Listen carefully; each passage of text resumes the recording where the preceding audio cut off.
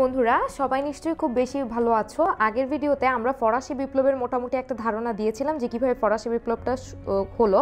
তো এই ফরাসি বিপ্লবের সূচনাটা কীভাবে হলো? অর্থাৎ বিপ্লবটা তো শুরু হয়ে গেল ওই জেনারেল স্টেটসের মিটিংয়ের মাধ্যমে। তারপরে কি হলো সেটা সম্পর্কে আজকে আমরা জানব। তো তখন ফ্রান্সে কিন্তু অজন্মা দেখা দিয়েছিল। অজন্মা মানে হলো খাদ্যের উৎপাদন কমে যে দুর্ভিক্ষের মতো পরিস্থিতি তৈরি হওয়া। তো এই অজন্মা যখন দেখা দিল, তখন কিন্তু মোটামুটি চরমভাবে খাদ্যের অভাব দেখা দিল এই ফ্রান্সে। তো এই খাদ্যের অভাবের কারণে কৃষক যারা ছিলেন, তারা কিন্তু খাদ্যের সন্ধানে গ্রাম ছেড়ে প্যারিস নগরীতে কিন্তু সমবেত হতে শুরু করল, ঠিক আছে? তো প্যারিস নগরীতে সমবেত হওয়ার কারণে সরকারি যে ব্যবস্থা ছিল, এই সরকারি ব্যবস্থা থাকার থাকা সত্ত্বেও বা সরকারি নিরাপত্তা থাকা সত্ত্বেও এই বিপ্লবের কারণে কিন্তু খাদ্যের জন্য অনেকে হচ্ছে লুটপাট শুরু করে দিল। এই প্যারিস নগরীতে এসে তারা হচ্ছে সমবেত হতে লাগল এবং বিভিন্ন জায়গা থেকে লুটপাট শুরু করল। তো এভাবে কিন্তু মোটামুটি বিপ্লব বিস্তার হতে শুরু করল এবং প্যারিস নগরীকে বলা হচ্ছিল তখন বিপ্লবের মঞ্চ। অর্থাৎ যত মানুষ আছে বিপ্লবী, তারা মোটামুটি এই প্যারিস নগরীতে এসে সমা- সমবেত হতে শুরু করল। এই কারণে প্যারিসকে বলা হচ্ছে বিপ্লবের মঞ্চ।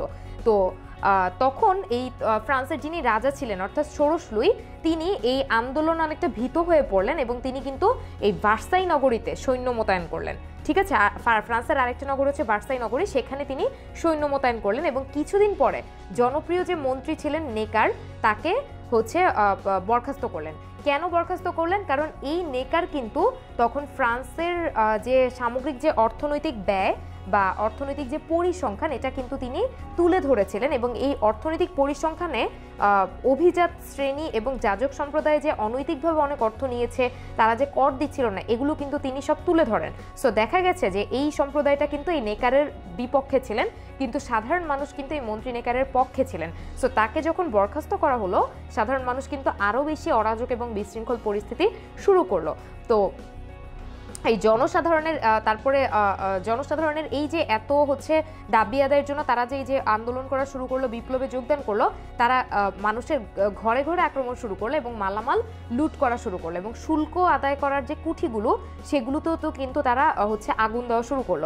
তো এভাবে যখন এই অভিজাত শ্রেণি এবং যাজক সম্প্রদায়রা যখন দেখল যে সাধারণ মানুষরা মোটামুটি ধ্বংসাত্মক কার্যাবলী শুরু করে দিয়েছে, তারা কিন্তু তাদের নিজ নিজ অধিকার ত্যাগ করল। অর্থাৎ সামন্তবাদের যে একটা প্রভাব ছিল, সামন্তবাদ যে প্রভাব ছিল, অর্থাৎ অভিজাত সম্প্রদায় এবং যাজক সম্প্রদায় যে এতদিন উঁচু শ্রেণীতে ছিল, তারা কোনো ধর, তারা নিজেদের অধিকার নিয়ে কোনো নিজেরা নিজেদের অধিকার আদায় করে নিচ্ছিল তারা তাদের অধিকার ত্যাগ করল এবং সামন্তবাদের চিহ্ন কিন্তু মোটামুটি নিঃশেষ হয়ে গেল। এই যে সামন্তবাদের চিহ্ন নিঃশেষ হয়ে গেল এবং সামাজিক সাম্য প্রতিষ্ঠিত হলো, এর মাধ্যমেই কিন্তু মোটামুটি বিপ্লবের জন্য মোটামুটি সবাই প্রস্তুত হয়ে গেল এবং বিপ্লব কিন্তু মোটামুটি শুরু হয়ে গেল।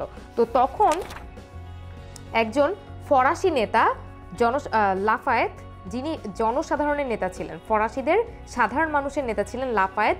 এই লাফায়েতের নেতৃত্বে কিন্তু দেশ রক্ষার জন্য একটা জাতীয় বাহিনী গঠন করা হলো, যে জাতীয় বাহিনীটার নাম হচ্ছে ন্যাশনাল গার্ড তো এই ন্যাশনাল গার্ড কিন্তু এই লাফায়েতের নেতৃত্বে গঠিত হতে থাকল গঠিত হলো এবং আরেকটা গুরুত্বপূর্ণ ঘটনা ঘটলো, সেটা হচ্ছে সতেরোশো উননব্বই সালের চোদ্দই জুলাই তারিখে কিন্তু ফ্রান্সের যে বিখ্যাত বাস্তিল দুর্গ ছিল, এই বাস্তিল দুর্গ কিন্তু জনসাধারণ বা সাধারণ জনগণ কিন্তু এটি পুরোপুরি ধূলিসাৎ করে দেয়। অর্থাৎ এই যে একটা বাহিনী গঠন করা হলো, তারা একত্রিত হয়ে, এই যে উন্মত্ত এবং বিপ্লবী জনতা, তারা চোদ্দই জুলাই তারিখে কিন্তু ফ্রান্সের বাস্তিল দুর্গ পুরোপুরি ধুলোসাৎ করে ধূলিসাৎ করে দিল।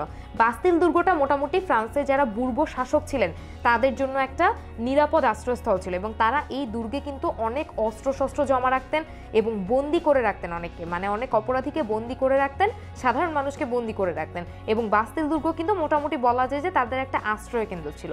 তো সাধারণ মানুষ যখন এই বাস্তিল দুর্গ হচ্ছে ধ্বংস করে দিল, এখান থেকে তারা কিন্তু অনেক অস্ত্রশস্ত্র সংগ্রহ করল এবং একই সাথে অনেক মানুষকে কিন্তু মুক্তি দিল। তো এই বিখ্যাত বাস্তিল দুর্গ কিন্তু এই চোদ্দই জুলাই তারিখে কিন্তু পতিত হলো। তো এটা কিন্তু ফরাসি বিপ্লবের ইতিহাসে একটা চমৎকার বা চমকপ্রদ ঘটনা কিন্তু বলা যায়। এবং এই বিপ্লব এই, এর পতনের মাধ্যমে বাস্তিল দুর্গ পতনের মাধ্যমে কিন্তু জনগণের সার্বভৌমত্ব প্রতিষ্ঠিত হলো।